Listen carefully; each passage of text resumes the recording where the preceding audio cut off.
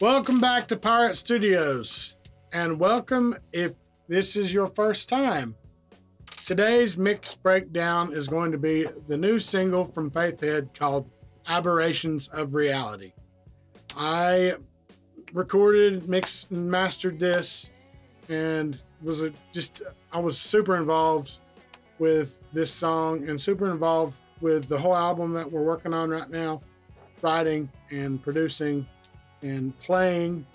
So we're gonna I'm gonna go over the mix that um, I did. If you haven't heard the new song, you should check it out. Link in the description um, to go over and check it out on whatever streaming service you use. And check out the music video uh, in in the barn where we recorded most of it. And uh, check it out and uh, hope you like it. Please subscribe to this channel and hit the like button. Share with your friends. So I'm going to break down everything that's going on in the mix. So let's do it. Okay, so let's check it out a little bit.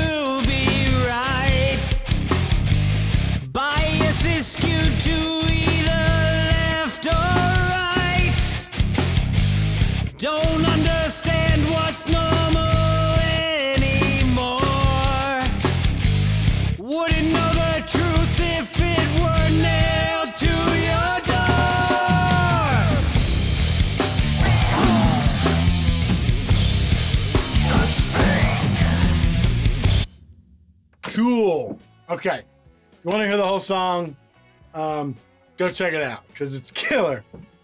Um, so, first, let's start off with the drums. You don't have a good drum sound, you won't have a good song sound. So, the, there's no samples on these drums. Here's the drums all by themselves. Um, I heard a comment said somebody said uh, the drums sound raw. Well, it's because they are. so I take that as a compliment because they sound killer.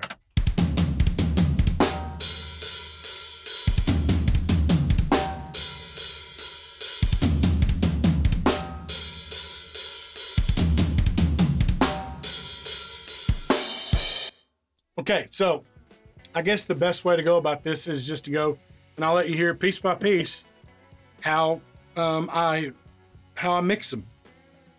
So I guess we'll start off with the kick first. I have two kick mics, and they're going to a bus. They're going. I have two kick mics, and they're going to the bus. You may have seen in the video. There's a big freaking subwoofer in front of the uh, in front of the bass drum. Well, that's actually got a mic microphone cable soldered to it, and it's being used as a mic. Um, I'll get to that in a second. First, we got the main kick mic, which is an Audix D6. And here it is all by itself.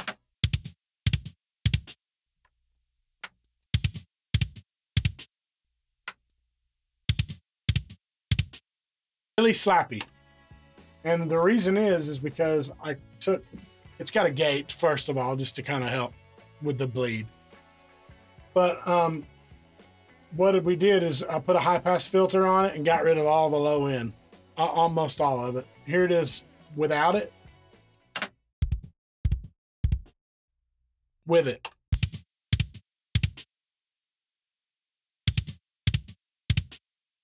So this mic will do it all all by itself, but I like to have the low on its own, the sub kick, so to speak, which is the subwoofer.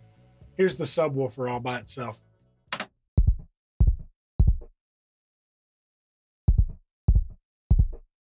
Hopefully, you're listening to something other than your cell phone because uh, you're not going to be able to hear low frequencies worth of crap.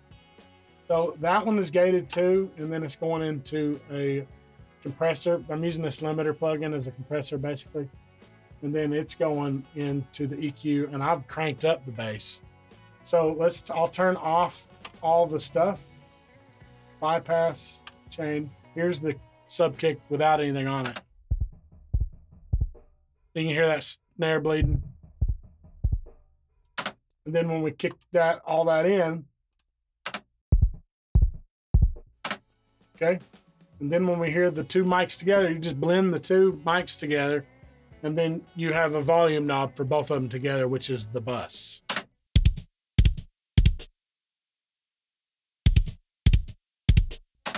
Cool. Okay, so next we're going to go to the snare.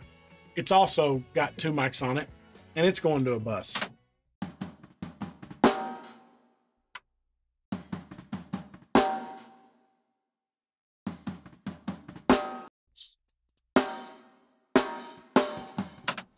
So it's got two SM57s on it. Um, the, here's the top mic, and it's literally got nothing on it. I didn't EQ it or anything, which is weird. Um, I EQ'd both of them together afterwards. That's the top mic. Here's the bottom mic. Now I did EQ that one. I killed uh, the low end out of that, the 200. I dropped it. Here's without, and then I'll kick it in. In. Okay, so and then you then you use the two together. And it's going to this SSL channel strip. This is SSL EV2. These are mostly all waves plugins too, by the way. So here's without, and then I'll kick it in. In. It's got more clang, clang, clang, crack. If you wanted to get real, Dale Dale likes to use pork pie snares, so they got rings to them. Um, doesn't really bother me because when you when you listen to the whole the whole thing, the whole mix together, it doesn't stick out to me anymore. So, like here it is. Here's just the drums.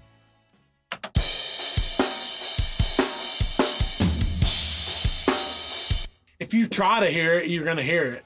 But if you just listen to the whole song, you, you don't hear that stupid ring.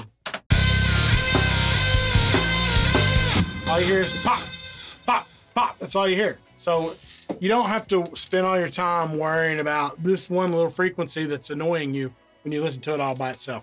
Think of the bigger picture. And uh, so there's the snare, like I said, and it's going through a reverb right here. It's called Verbiage. You can actually get it for free, and, it will bug you to tell you to get a license, which I paid for. And I put the license where it says to go, but it still acts like I didn't pay for it. I don't know why. Anyway, so here's without, and I'll kick it in.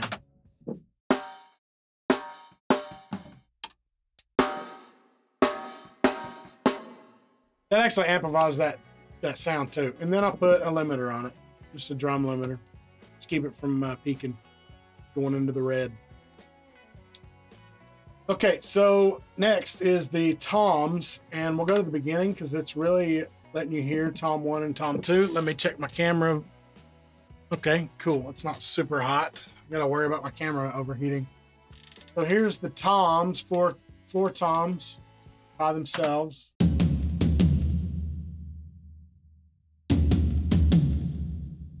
So they're going to a, a reverb after their EQ and compression. This is a free reverb. It's CPU heavy, but it sounds awesome. So here's just the big floor tom. It's got this EQ on it. I needed to raise up 8K because it's kind of muddy without it. Here it is without it. It's kind of muddy. You turn it on. Yeah. So, and then it's going to a compressor, which is not hitting very hard. Just barely. Same thing as the Tom 3. It's pretty much the same. Um, I raised 8K on it, almost all, all the way. And then the compressor, same. And then I use this plugin called Torque. This is kind of a secret weapon for toms. It's uh, it's definitely a good alternative to replacing your drums with samples. If somebody, especially if you got people, which this isn't the case, Dale knows how to tune his toms very well. But sometimes with the heat and the cold in the room that we recorded his drums that they sit in, it's all fluctuating. It, it, you know, the wood is expanding and decompressing from the cold and the hot. So sometimes toms go out of tune and we, we may not realize it. So here's the tom without it. Then you, when you turn it on, you can focus on a certain frequency and you can detune it or tune it up and you can turn it up that cer- certain frequency. So what it's going to do is it's going to bring more bottom end of that third tom. So here's out and I'll kick it in. You can watch it.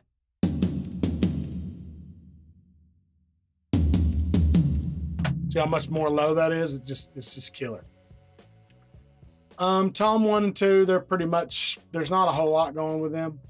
Um, he doesn't play those as much in the rest of the song. Those just sound awesome. Here's Tom one and two.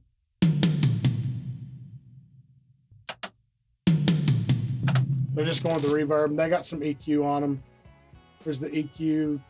That's uh, you know like 13 or 12k. I turned it up a tad. Turned the um, high mid frequency up. Uh, put a high pass filter. Not a whole lot. Um, pretty much probably just copied that. I'm surprised there's no compressor on Tom too. Guess it doesn't really need it. Okay, so next we've got the overheads.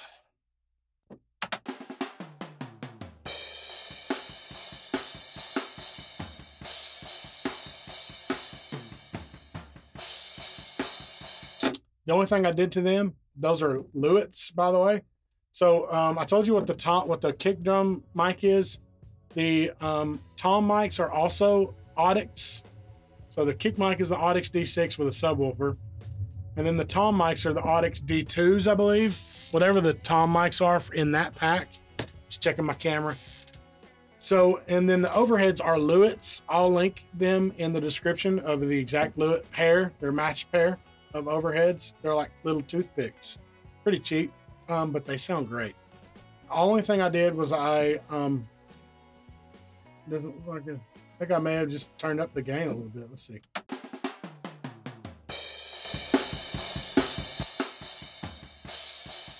Okay, what? yeah, I can. I already remember. What what you want to do with the overheads is you want to kill all the low end. So um, I put the the high pass filter on 200, rolled it, rolled all that off, and um, that's pretty much that's pretty much it. There's not a whole lot going on here. Normally, I would turn up the mic.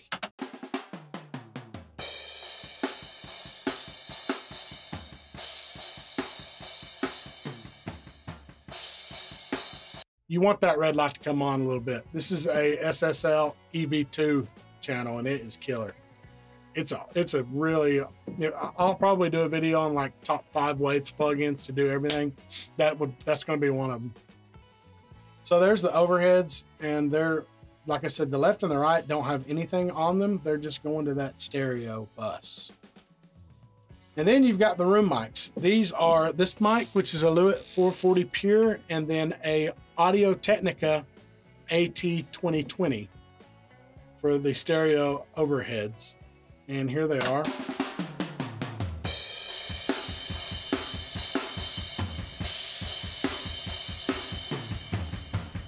So you can see in the video, the music video, that we're not really in a very big room, but this plug-in makes it sound as big as you want.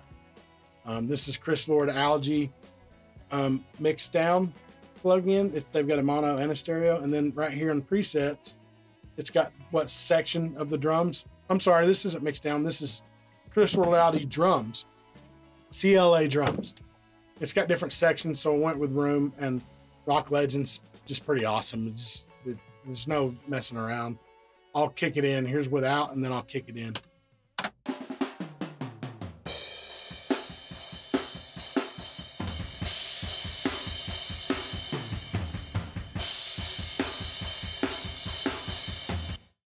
We don't want to sound like we're in a dang cathedral. This isn't Led Zeppelin, which that would be cool. so I think that's pretty much it. That's going on with the drums. So let's, and then they're all the all four buses are going to a stereo bus, where I'm doing a mixing. Um, I'm sorry, a mastering plug-in, which is just CLA MixDown. That's why I was thinking that. I, I love this. This is what I use all with every project.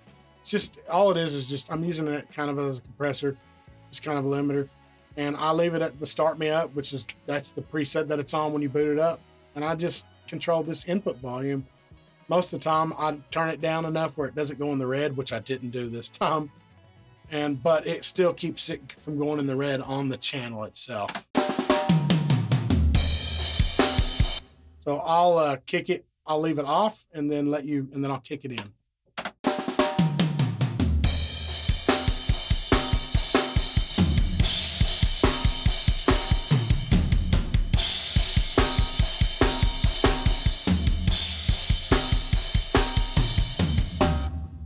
So yeah, it's not doing a whole lot. It's just kind of, kind of making sure it doesn't go in the red. You see it went in the red when I turned it off.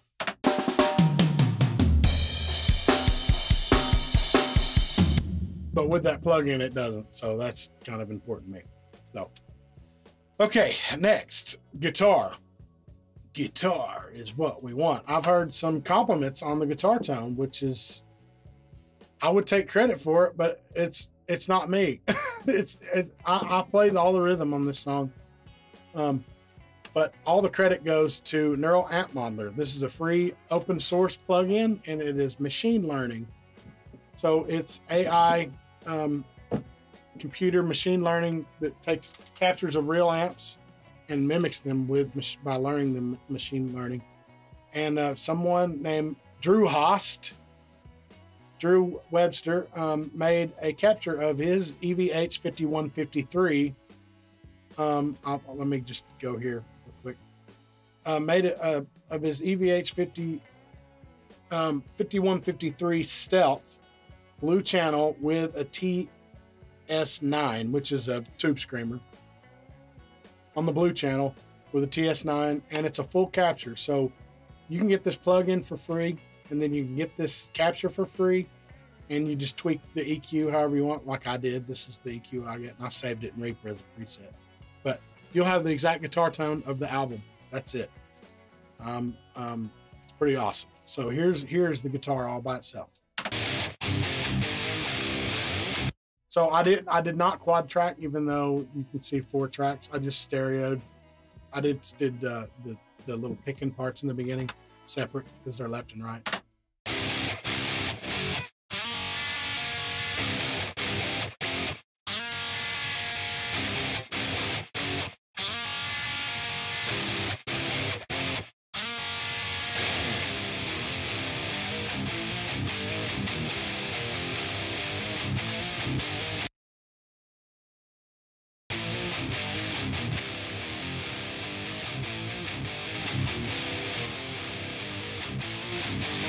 That's two different rhythm takes. Um, that way you get true stereo. So yeah, I'll leave the links to those so you can grab that because it's there's um, Tone Hunt tonehunt.com. Also, maybe it's tonehunt.org. Yeah, I'll leave the link for that. You can get all kinds of captures of all kinds of amps from all over the world for free. And it'll work in that plugin and work in any DAW. So that's what's going on with the rhythm guitar. Now, the solo, here's the solo.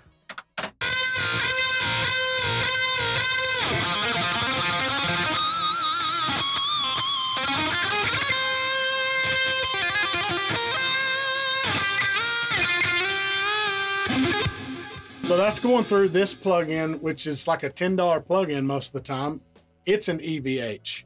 It's by a company from Mexico called Audio Assault, and it is now in the new Amp Locker, but this is the old version. It's in a new, they have a new uh, guitar amp plug-in that's got several guitars all in one, like AmpliTube, if you're familiar with that. But this is AHM 5050. It's a, copy of that. And then um, it's, it's got a pedal board in front of it with just your gate. a boost, EQ boost, and a tube screamer, which are not on. I EQ'd uh, the lead. Tyler sent me the DI of his guitar track, and then I EQ'd it. Th- This is actually my setting that I tweaked myself for myself for myself, and then I got it going into an orange cab, and it's C cabs. I'll leave a link to all that, and then it's got delay and reverb on it.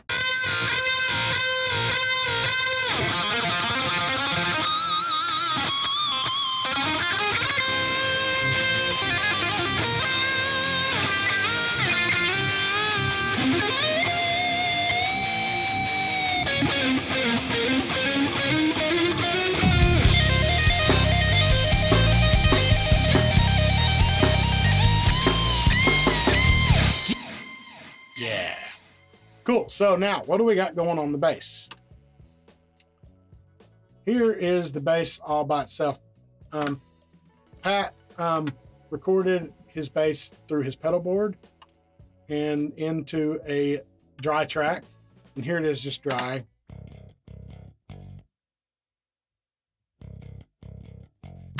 Other than being amplified, it already sounds good, just dry with his pedals. So then next, I ran it through a free plug-in, which is a SansAmp. Just amped it pretty much. And then I put it on a limiter just to peak it out as much as possible, and it keeps the volume perfectly level the whole time.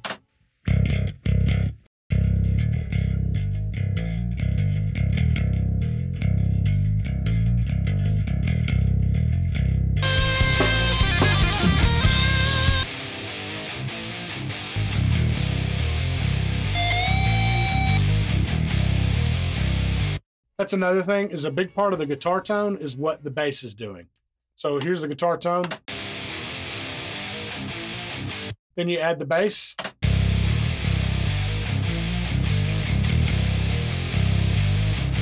So the bass helps fill it. So let's go to the vocals, main vocals. Um, we want five.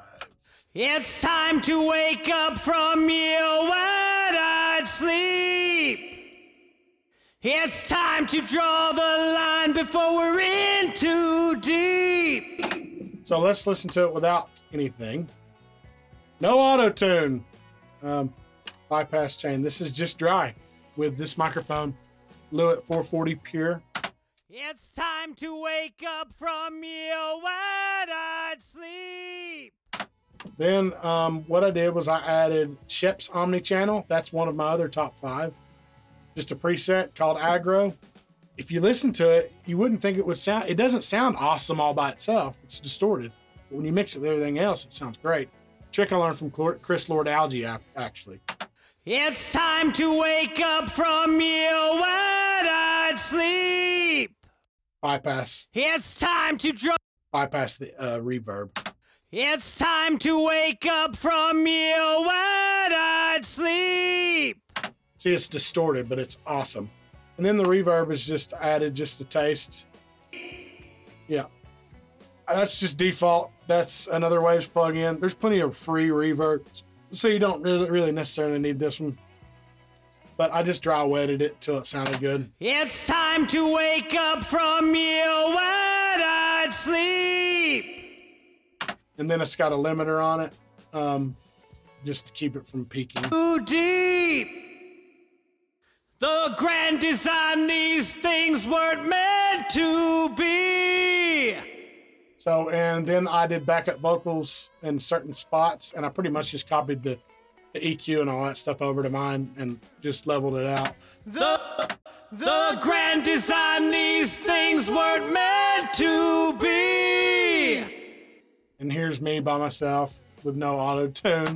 The grand design, these things weren't meant to be. Here's no effects.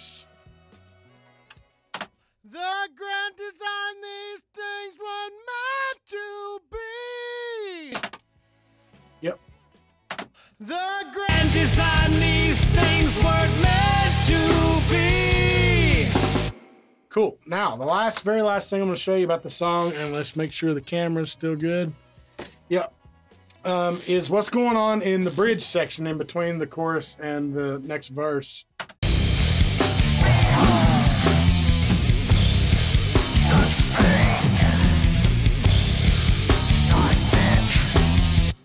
So what we got here is Patrick, and I'm gonna let you hear it. Here's just his voice without the demon, without the demon on it. and what I did was I put a, it's called, it's a telephone preset, but it, it's really a loudspeaker. But here's him, so you can, so you, you're gonna know what he's saying right now. Behold the thing not meant to be. Behold the thing not meant to be. And then we added this cool plug-in called Dehumani- Dehumanizer Simple Monsters by Krotos. And I don't know a whole lot about it, but um, I just kind of tweaked it and we got a demon sound. Here it is all by itself. And that's why I blended the other one in so you would try to help tell what he's saying. You can't make any of that out.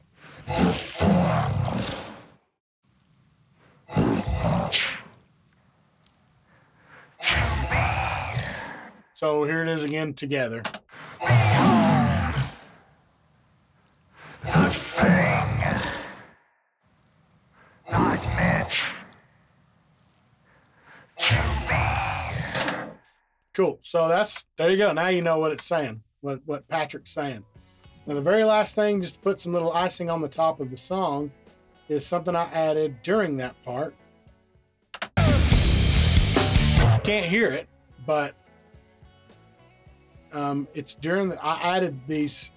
I wanted torches to. I thought of torches during that part to come in, and so I I got this uh, pack that I paid for stuff, After Effects and stuff to add to your production and stuff like that. So I thought it would work. So it's uh, called. I just named it Fire. But here it is. Here it is all by itself.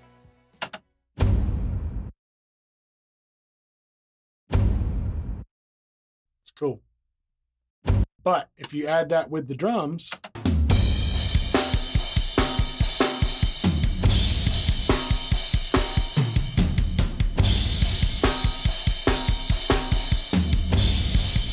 that's just killer.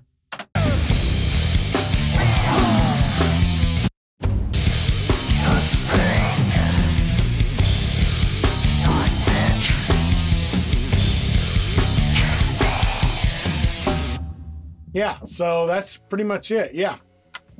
That's the song. Aberrations of Reality. Check out Patrick's video on what the song's about. And if you like this song, stay tuned. I'm going to try to, I'd like to make one of these mixed breakdowns for every single one of the songs on the album. That would be great. Um, if um, I got one other mixed breakdown before this one that I've done, um, I'm mixing one of my cover tunes, All the Small Things by Blink 182. If you like this kind of stuff, check that out. I'll leave the, um, it'll be at the end of this video. You'll see it in pop up. Anyway, please hit the subscribe button and please like this video and share it. Please check out the new songs, Faith Heads, Aberrations of Reality, and on all your streaming services. I'll leave the link. I'll leave the link to um, Neural Amp Modeler, like I said, and the where to get that EVH to play through it. I'll also leave a link to Audio Assault stuff because they're awesome.